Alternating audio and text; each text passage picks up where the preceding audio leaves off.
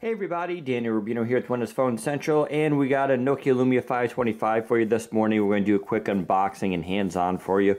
Now, I honestly don't expect this to be really any different from a Nokia Lumia 520. In fact, I have one right here to show you guys. But the big difference, of course, with this device is it's got one gigabyte of RAM over the 520 uh, which only had 512. So that makes a big difference when you want to run some new games and apps. It's actually a big difference, especially for a low-end device like the 520 and the 525, which run really cheap on and off contract. Um, so let's take a look quickly here, but this will be a really good video for those of you guys who have never had a Windows Phone and are curious what is the 525. So this device is just coming onto the market now. Uh, it's a low-cost device, uh, entry-level Windows Phone, if you will. It goes for, you know, a little less than $100 usually.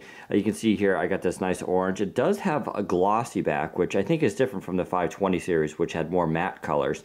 So that is kind of nice. Um, I don't have the battery installed yet. We got our normal unboxing material stuff here, like little safety information and how to. You can see this is an international release, more for the um, Asian markets than US.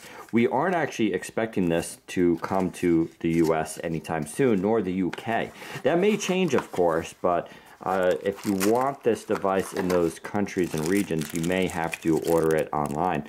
Uh, you can see here you got your micro USB charger. I sort of like these all in ones. They're kind of nice.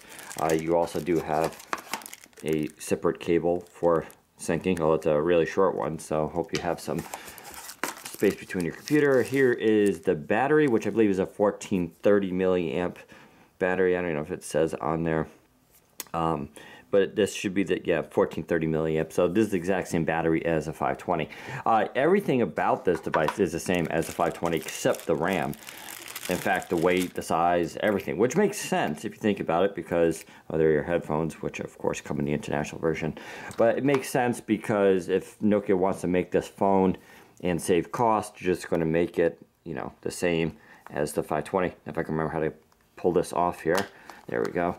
And there's your insides. You can see you get your little 5 megapixel camera on the back. Not the best camera in the world, but for a low cost device, what do you want? Um, there's your area where you can put your SIM, and I believe that is also where you can put your um, micro SD expansion. That's a good thing since it only has 8 gigabytes of internal storage, which isn't a whole lot when you actually turn it on. You only get about 4, 4.5 gigs usually of actual space. Here's the back of the cover. I have a little silencer there for the, the battery to keep it uh, from shifting around. And we can pop it on. Let's see if that'll boot up. Okay, everybody, we're back. We booted up the phone, and you can see it right here. Uh, basically, it is the same as a 520, which I'm going to put on screen here so you can just see it.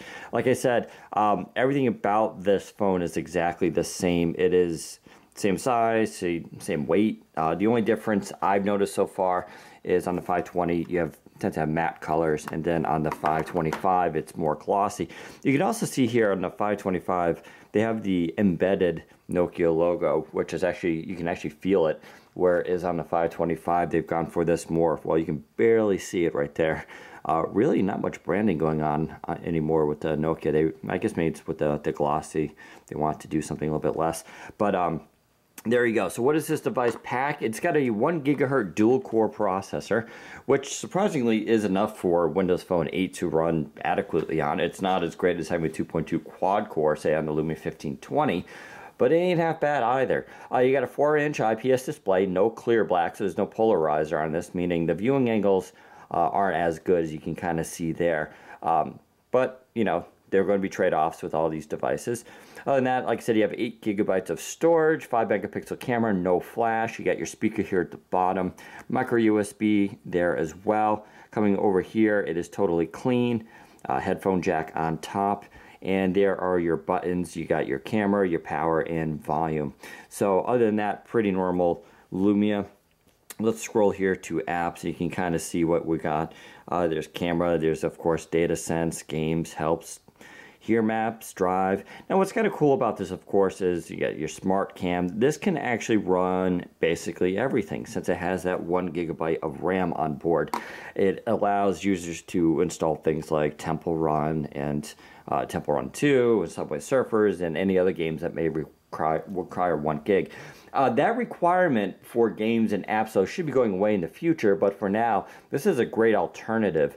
Uh, other than that, though, there's not much difference between this and the 520, so we're expecting the exact same quality. Uh, the 520 has been a really a big sleeper hit, and now accounts for almost a quarter, I believe, of all Windows phones out there. So it is a big uh, feature phone for a lot of people. Uh, but there you go. Head to Windows Phone Central for more information. We'll see about doing a little review of this, although we don't expect it to be much different than the 520. If you have any questions, ask away. And you can also head to WP Central for some high res photos in case you really want to see this baby up close. But there you go. Take care, everybody.